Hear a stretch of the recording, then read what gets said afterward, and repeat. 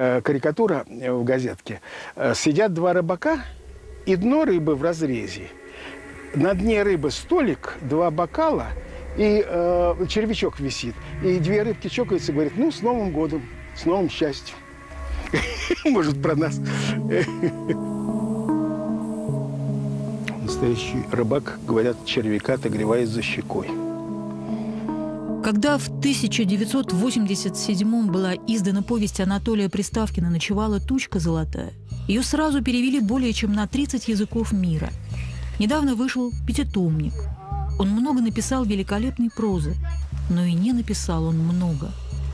Когда у твоего порога будут убивать человека, что бы ты ни сочинил, это ничего не будет стоить. С этими словами он отложил незаконченную рукопись, чтобы возглавить комиссию по помилованию при президенте Российской Федерации. Практически он стал государственным чиновником, мучительно разрываясь между двумя служениями. За 10 лет работы комиссии были смягчены приговоры 57 тысячам человек. Именно это ставил во главу своей жизни выдающийся писатель 20 века Анатолий Приставкин.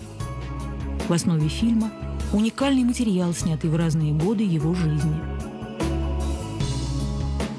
я сам приговорен э, к страшному наказанию. Когда я их смотрю, я, я свою жизнь. Это мое прошлое. МВД создает конвейер для своей будущей работы. Им выгодно, чтобы много сидело. Мальчишку первый раз хватает за буханку хлеба, как меня хватали когда-то. Его опетушат.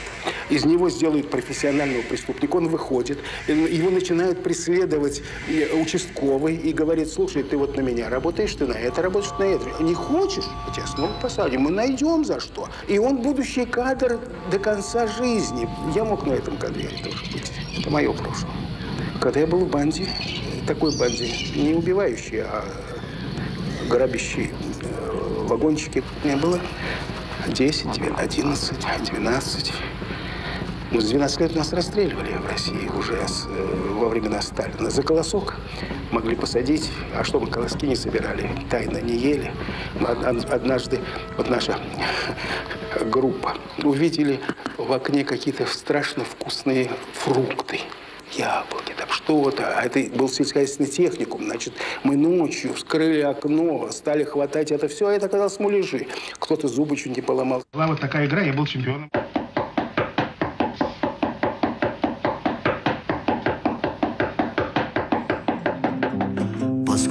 Денежки чужие не достаются без труда, когда воротимся мы в Портленд, мы к судьям кинемся в объятия, да только в Портленд воротиться нам не придется никогда, когда воротимся мы в Портленд. Я всегда считал, что мне все-таки повезло, что мама поцеловала меня, когда я родился, и вот это меня спасло, наверное, в будущем. В 41-м она умерла.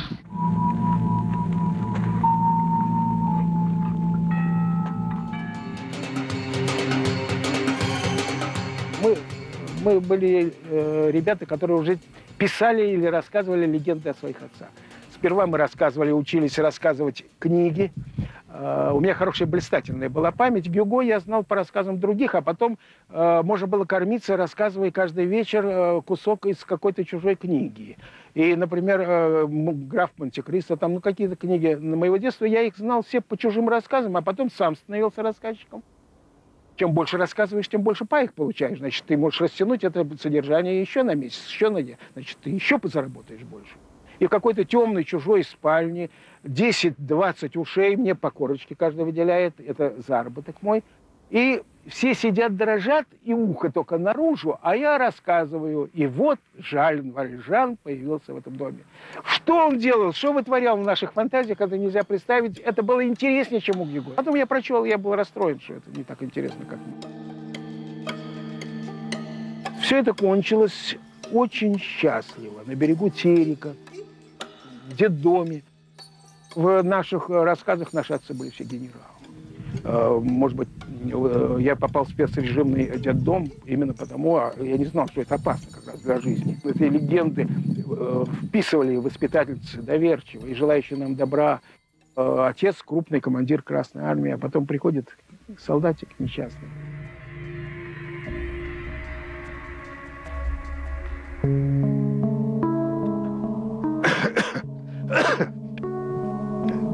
Седовласый, такой веселенький. Он даже не знает, что он генерал.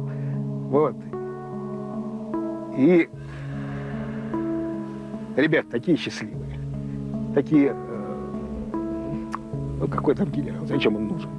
Это самый большой человек этот. Вернувшись, это тоже спасение от тюрьмы, спасение от голода, спасение от детдома, спасение от беспризорщины, спасение. Вот так живой отец появился. Я обрел отца, которому я не столь уж был нужен, но которого я любил как пес любит э, хозяина. Я готов был за ним ползти, заглядывать в глаза, лишь бы он только в какое-нибудь время наклонился и потрогал меня рукой. Он забывал обо мне сутками, э, месяцами. Он не знал, куда я поступил, он не знал, как я учусь, он не знал, что я ем. Он ничего этого не знал. Но когда он появлялся, я был самый счастливый из детей.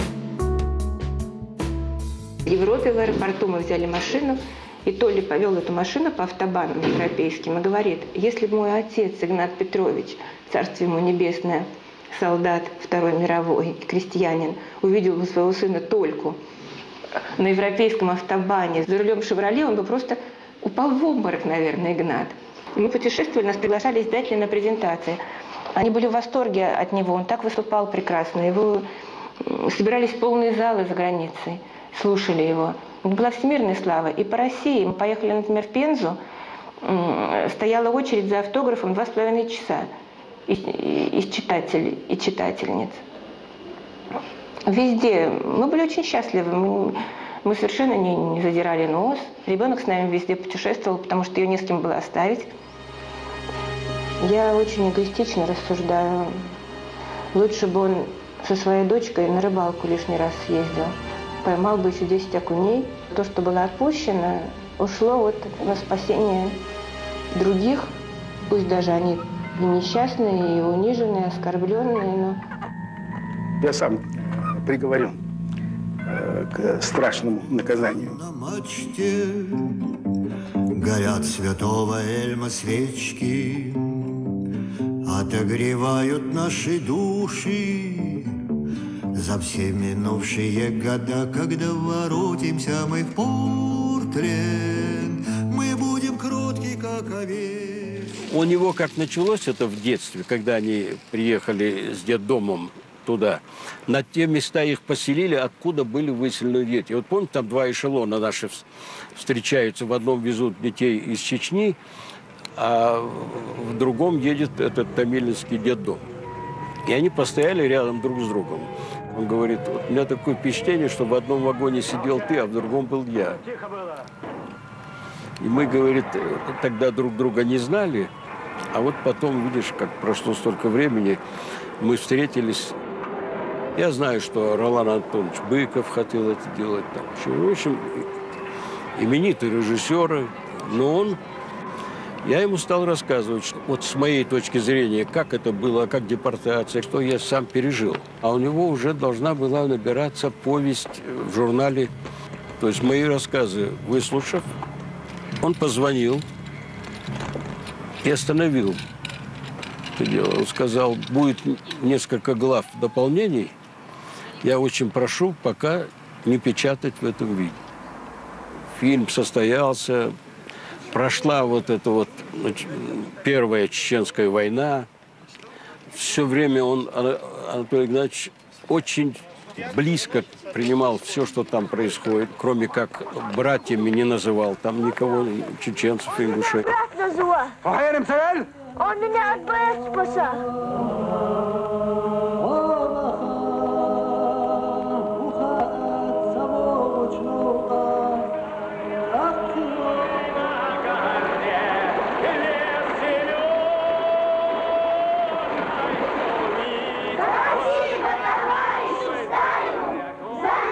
Так думаю, с ними покончено. Раз и навсегда. Так что жизнь теперь спокойней станет. Вы так говорите, будто радуетесь. А что ж ты мне плакать прикажешь? Я, милый, уж наплакался. У меня ведь двое ребятишек было, как у тебя. Немцы заживо сожгли.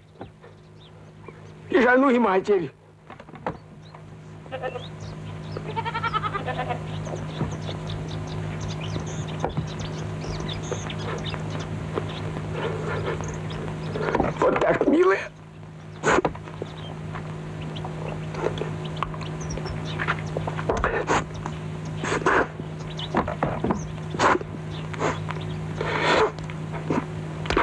Выселяют, так и меня выселяли. 16 лет в кулаки записали.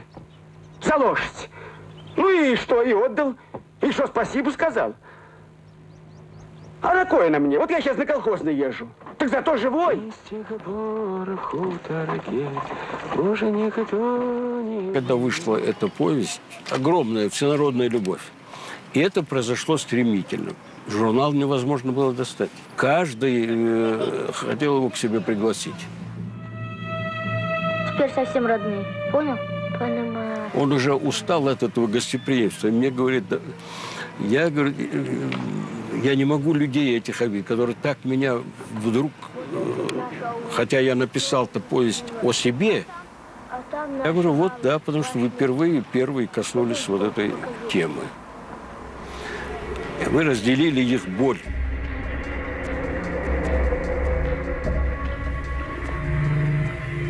Вот, Анатолий, вот это и есть кинотеатр юбилейный.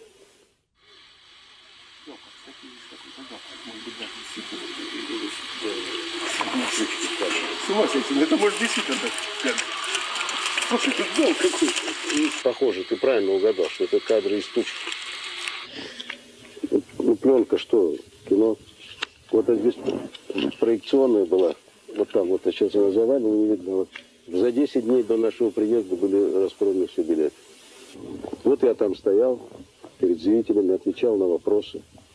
Рассказывал Да, про прошлое. про прошлое. Не знаю, что будет такое настоящее.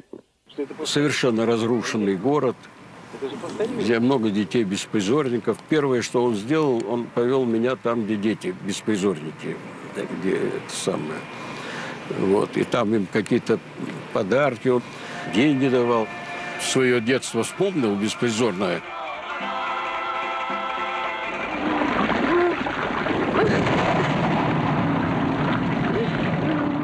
Полные глаза слез. Он говорит, это же надо, чтобы такое повторилось уже в наше время в жизни. То, что я когда-то написал в повести.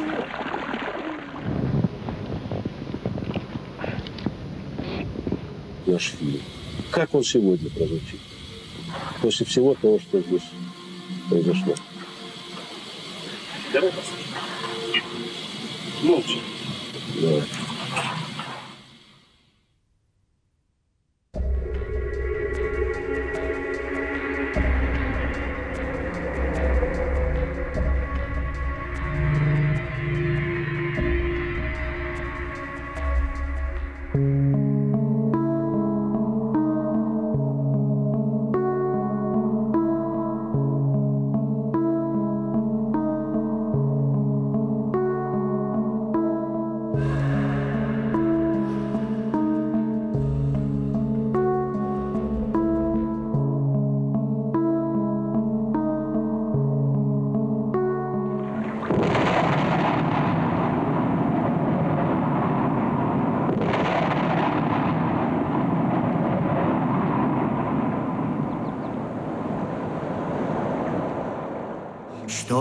Если в Портленд нет возврата, Пускай несет нас черный парус, Пусть будет сладок ром ямайский, Все остальное ерунда, Когда воротимся мы в Портленд, Ей-богу, я во всем покаюсь.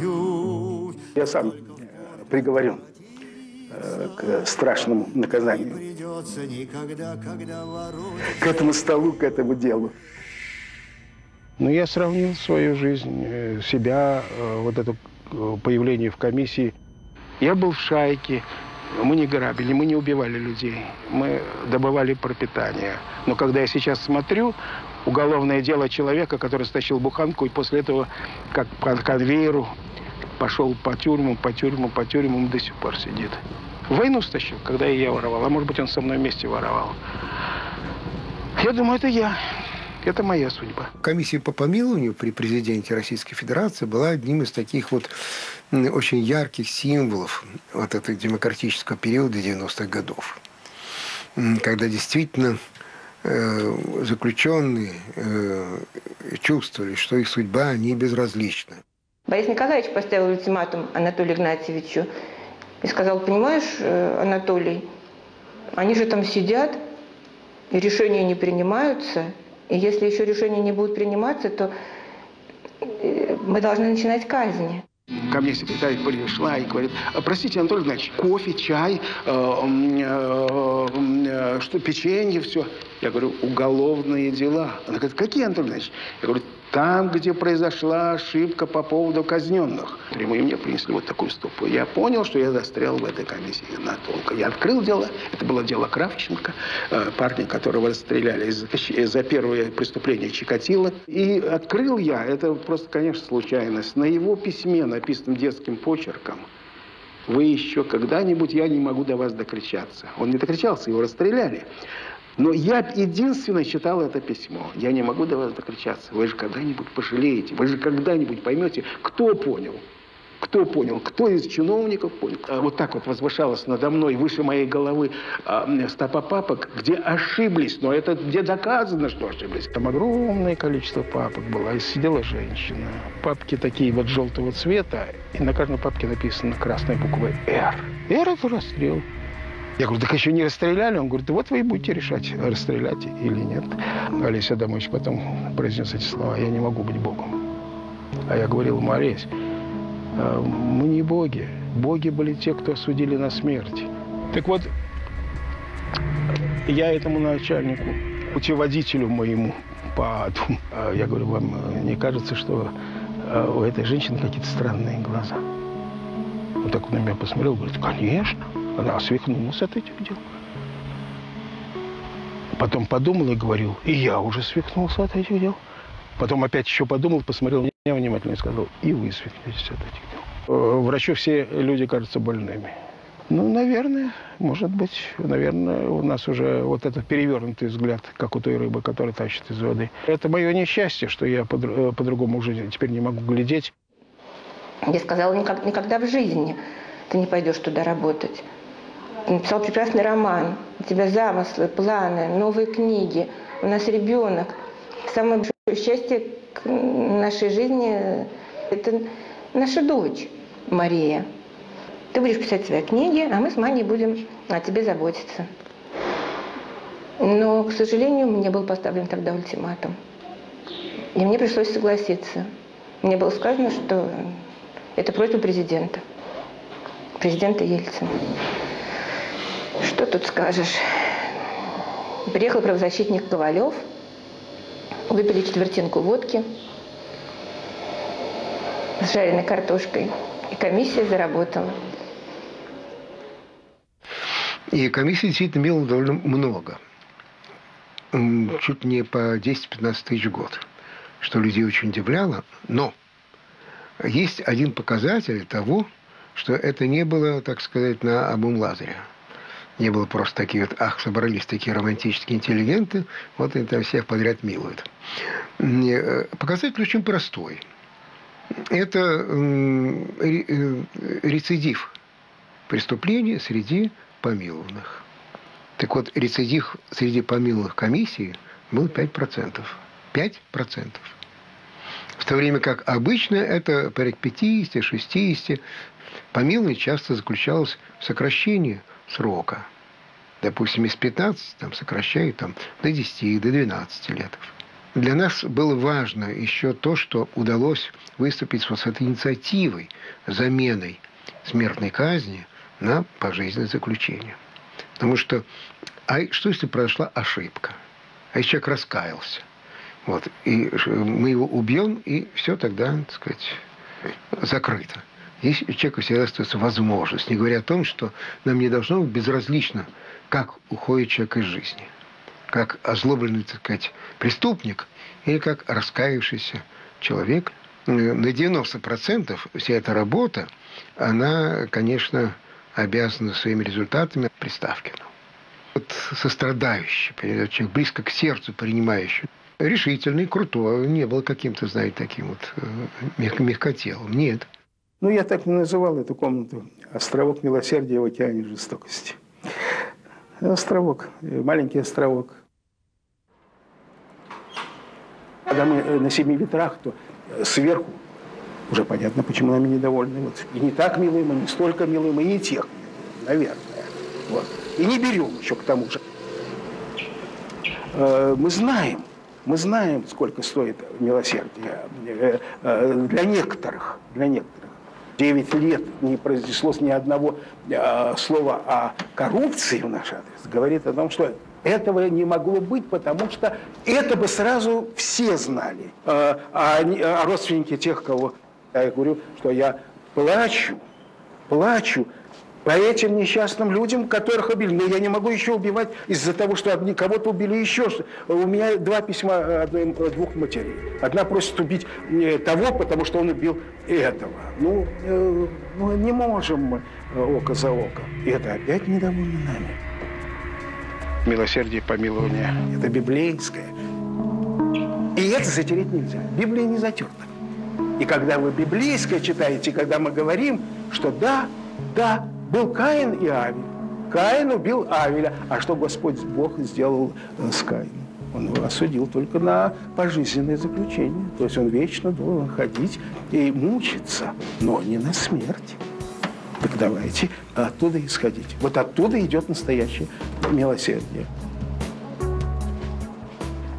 Все почему спрашивают меня, Антон Ильич, ну, ну у вас же под охраной, наверное, все, у вас же Какая охрана? Я говорю, настолько душа своя охраняет, настолько честность охраняет. Больше ничего.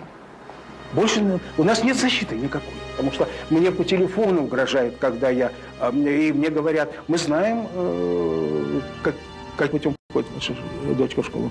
Она под, будет изнасилована. После этого я могу спать. Надо было ультиматум привести в действие. С помощью Калашникова. Но что делать? Я была женой гуманиста.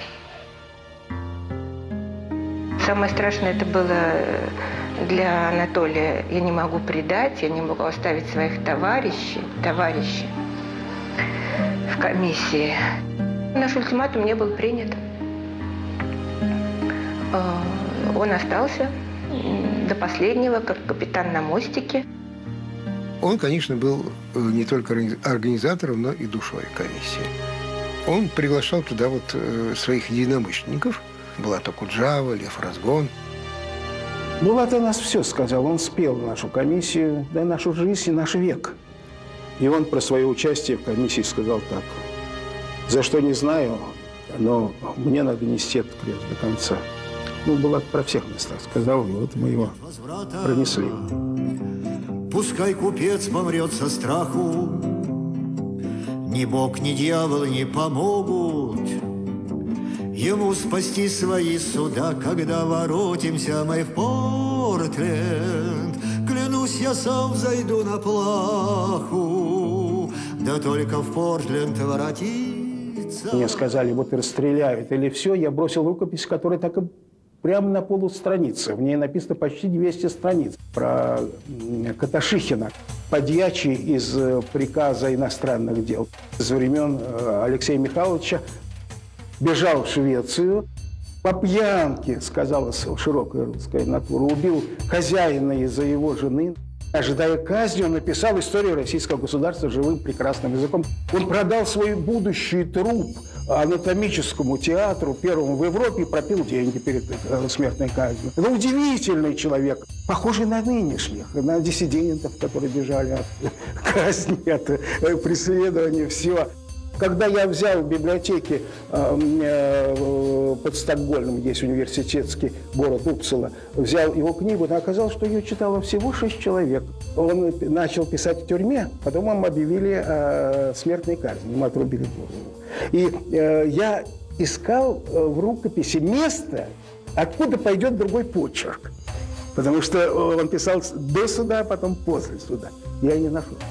Э, писал одинаковым почерком. Когда меня оторвали для того, чтобы спасти э, других осужденных к смертной казни, я бросил, э, как говорят, в несчастье своего главного героя.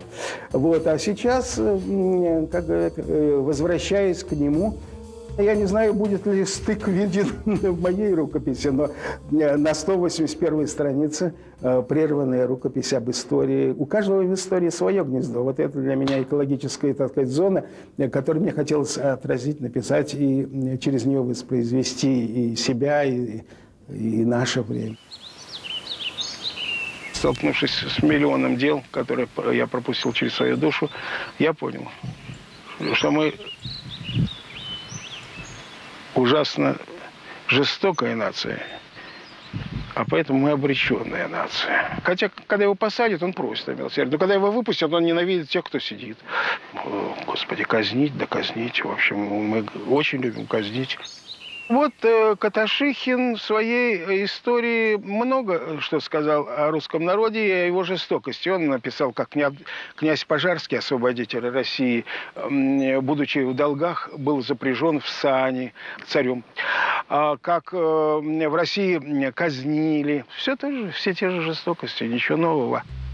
Когда большевики при, пришли, они просто, как говорят, хорошо выявили эту сущность в народе, жестокость.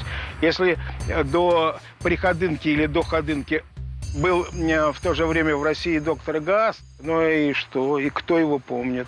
Я школьников спрашиваю, а кто такой доктор Газ? Они не знают уже.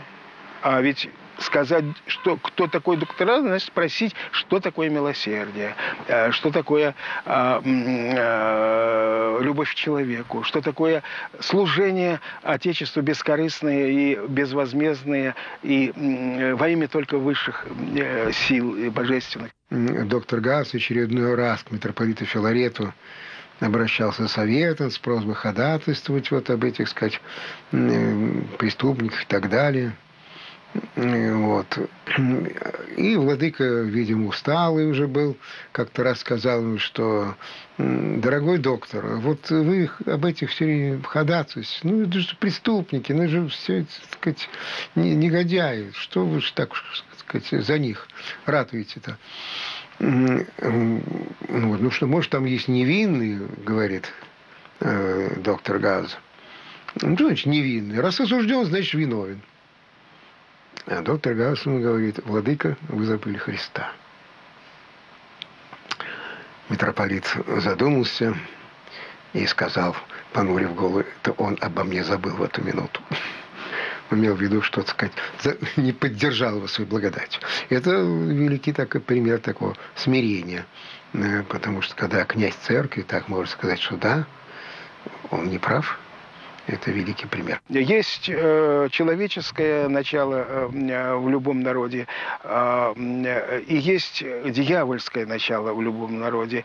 И э, вся система большевизма, она ориентировалась только на дьявольское, в душе, в каждом душе, и подавляла все человеческое. Что э, было при докторе Газа? Ну, проводили через селение каторжан. Могли боком но проводили через селение, чтобы каторжан накормить. Женщины бросали хлеб им.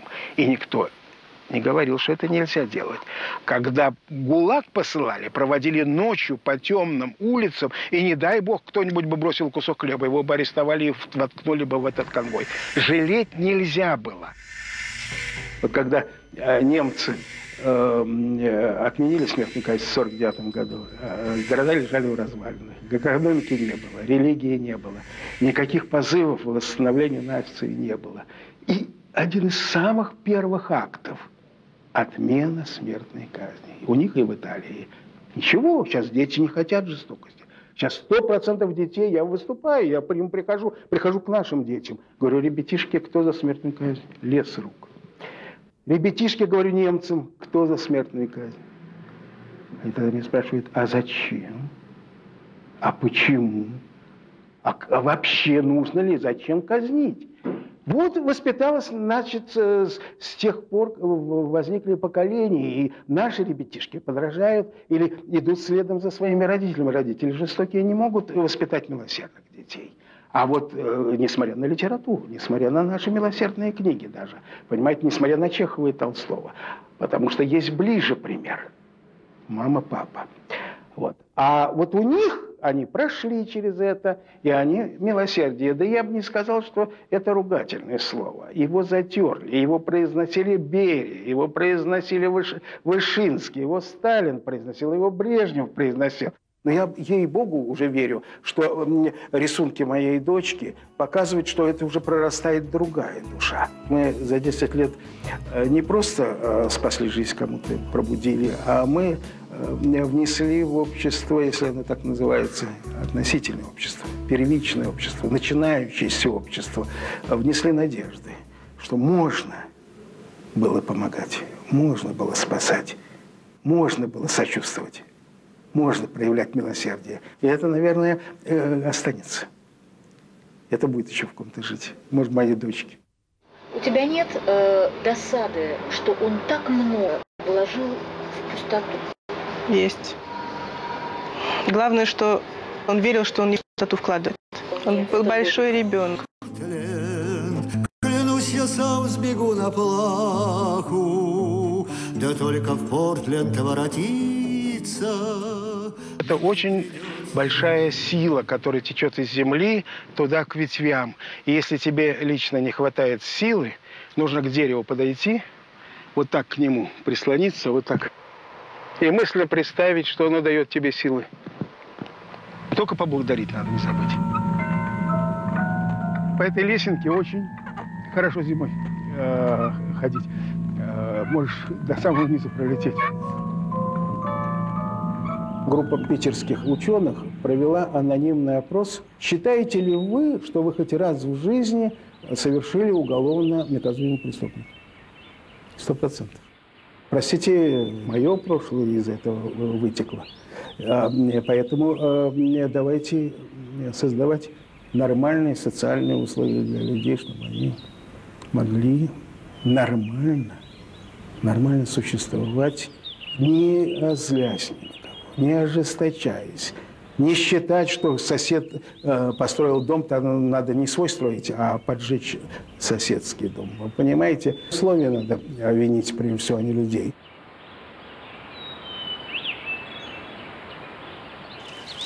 А вот эта вот э, сливочка болела три года, болела, и вдруг в этом году почти не выросла и дала вдруг э, маленький урожай.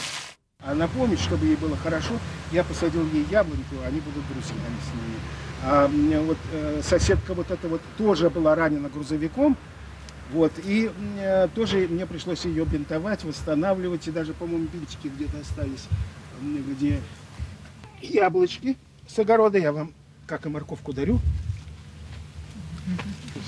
Все, все наше богатство. 42 метра квадрат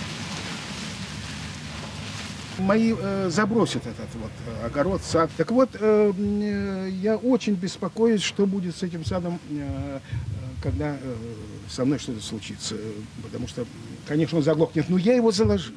Значит, он кому-то будет чего-то приносить. Я это Вот, здесь цветочки для моей дочки. А, он радовался каким-то вещам абсолютно искренне, по-детски, и я этому учусь да? Это как раз вот... Ты родилась да. взрослее, чем он? Да. Я, я, я, я, я серьезная очень.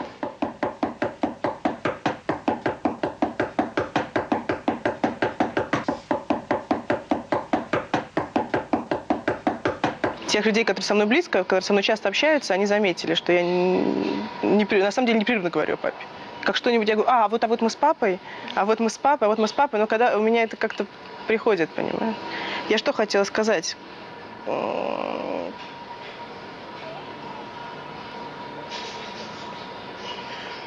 То, что он меня называл своим поплавочком. Ну, это всем известно. Но жизнь показала, на самом деле, что, наверное, было наоборот. Кто чей поплавочек. Это он мой поплавочек.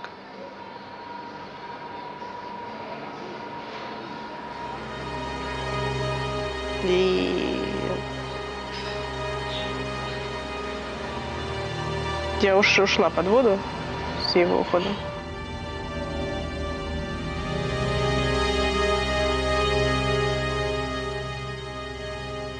Последняя командировка была у Толи. Четыре перелета тюрьмы, встречи с людьми, выступления. От него оставалось на тот момент ровно одна четверть. И он все время мерз. Потом стали говорить, вот Э, в Кремле все теперь носят такие куртки, потому что первый начал Приставкин. Вместо значит, делового пальто на все пуговицы канатка на молнии. Вот эта куртка меховая и вязаная шапочка. И к этому все спокойно относились, кто с ним встречался. Ну, холодно человеку.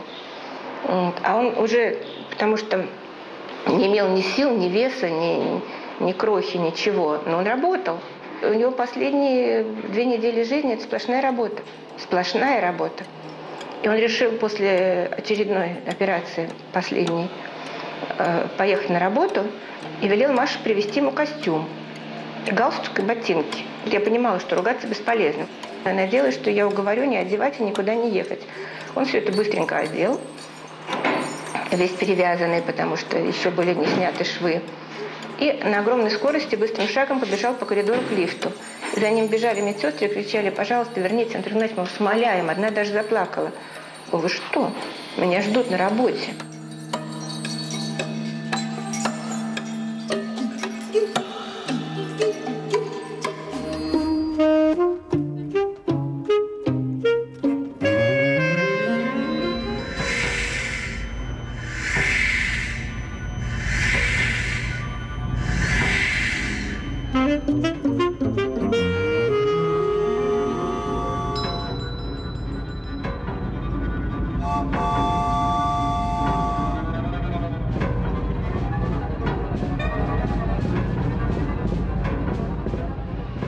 Не знаю, последних пять дней ему оставалось.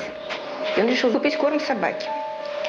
И поехал в магазин, где продают это все. А там птица была в клетке. Очень красивая, какой-то редкой породы, которая чудесно пела. И я говорю, давай ты сиди за рулем, я быстренько сбегаю за кормом. Нет, нет, я сам пойду. Вышел, его уже никто не узнавал. Узнать было невозможно, мы его уже не узнавали. Дошел в магазин, и я волнуюсь, его нет, нет, нет, нет, боже мой, что это, что случилось? Я туда забегаю, он стоит и слушает пение птицы этой. И говорит, ты подумай, какая красота, как она поет, какая она красивая, когда это еще услышишь. И это не было там мыслью о последнем дне жизни. Он так всегда жил. Рыбалка на рассвете, птичка поет, не знаю, цветок какой-то уникальный. Ребенок принес рисунок, который ему нравится. Стол накрыли, пирог удался. Сущность бытия. Ночью боятся.